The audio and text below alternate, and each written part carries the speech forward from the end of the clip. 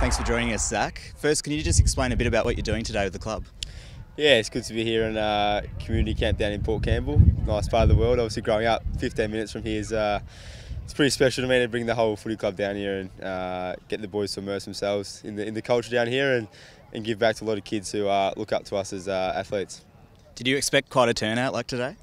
Uh, I was hopeful and I was uh, yeah very pleased to see a lot of Essendon jumpers turn up and uh, obviously great to see a lot of number sevens as well. But yeah, to know uh, most of the kids is a special feeling to see them run around and come and get a high five. And how good is it that the club and the AFL are now recognising the contribution that country has made to the game?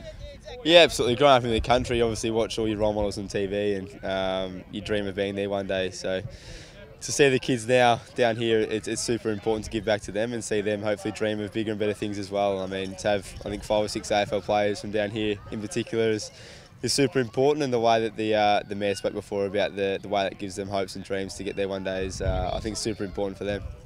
Obviously, you had a really good win. How satisfying was that, and, and does that give you a really good confidence boost heading into the season?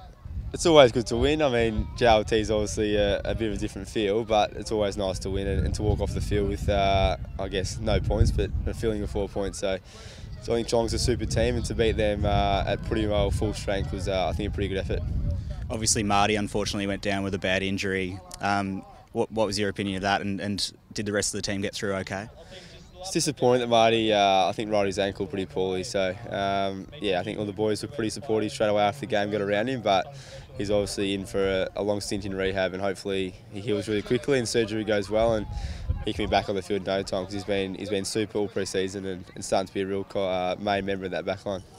As you said before, Geelong was obviously a strong side. You, you faced Richmond as well. You've now got Adelaide in a couple of weeks. Is it good to get those those strong challenges early on?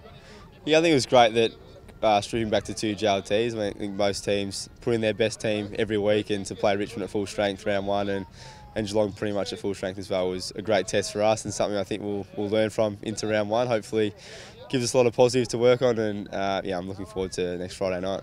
Great, thanks for joining us. Thanks, mate. Cheers.